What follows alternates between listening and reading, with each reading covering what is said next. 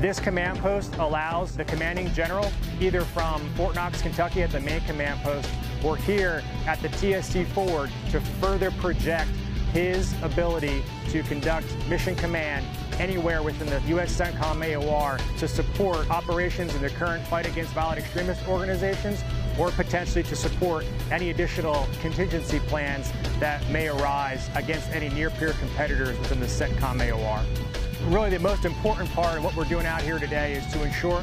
our readiness as a sustainment command and control element to ensure that anywhere within the CENTCOM AOR we're able to project our capability that we can maintain situational awareness and that we can disseminate instructions to ensure that our subordinate units are capable of continuing to conduct the tactical level sustainment operations and enable success in the U.S. CENTCOM AOR.